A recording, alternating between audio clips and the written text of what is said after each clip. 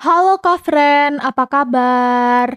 Di sini sudah ada soal mengenai penjumlahan pecahan. Nah, kita baca ya soalnya. 1 per 2 ditambah 7 per 12 ditambah 3 per 4. Nah, perhatikan ya, di sini penyebutnya yaitu 2, 12, dan 4 berbeda semua ya. Maka dari itu kita harus menyamakan penyebutnya dengan mencari KPK dari 2, 12, dan 4.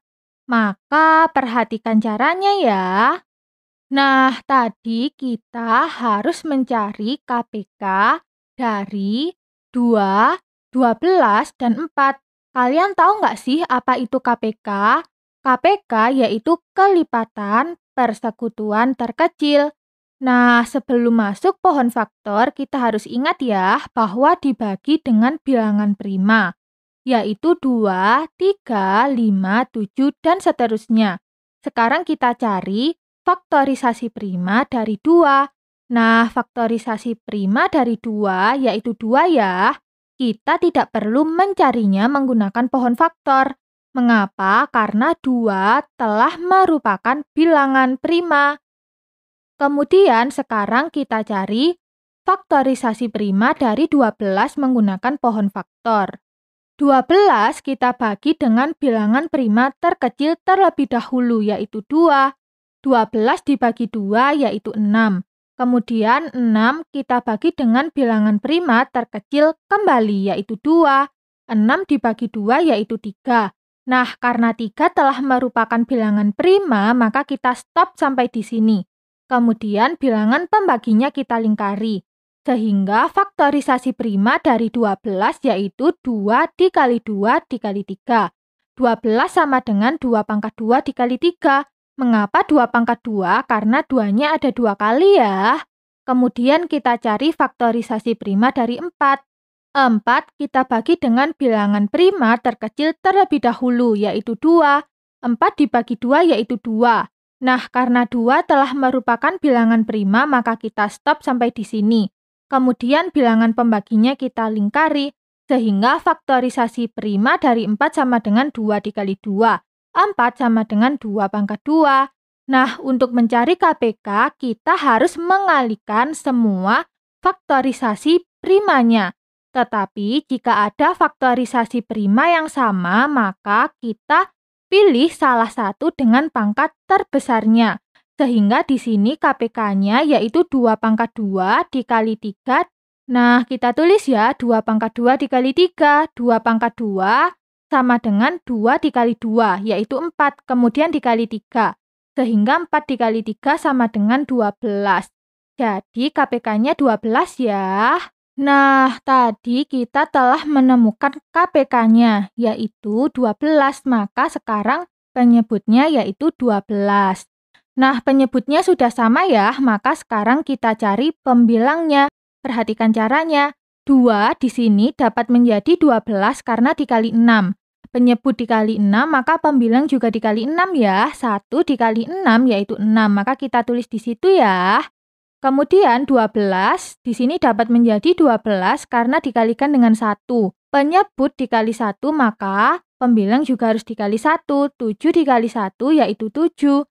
Nah, kemudian 4 dapat menjadi 12 karena dikali dengan 3. Karena penyebut dikali 3 maka pembilang juga harus dikali 3 ya.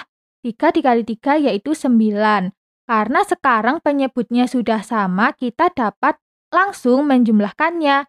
Nah, karena di sini merupakan penjumlahan pecahan, maka kita mulai dari sebelah kiri, sehingga 6 per 12 kita jumlahkan dengan 7 per 12. Di sini 6 ditambah 7 yaitu 13 per penyebutnya tetap yaitu 12, kemudian ditambah 9 per 12.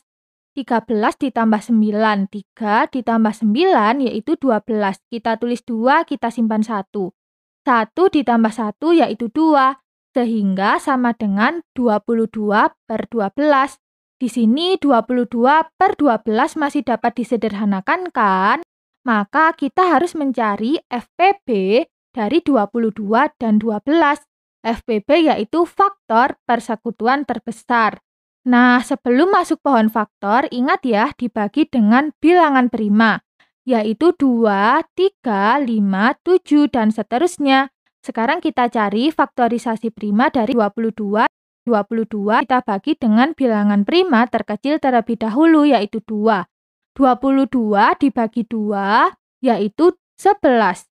Nah, karena 11 telah merupakan bilangan prima, maka kita stop sampai di sini. Kemudian bilangan pembaginya kita lingkari. Sehingga faktorisasi prima dari 22 yaitu 2 dikali 11. Sekarang kita cari ya, faktorisasi prima dari 12. 12 kita bagi 2 yaitu 6, kemudian 6 dapat dibagi 2 lagi yaitu 3. 3 telah merupakan bilangan prima maka kita stop. Kemudian bilangan pembaginya kita lingkari, sehingga faktorisasi prima dari 12 sama dengan 2 dikali 2 dikali 3.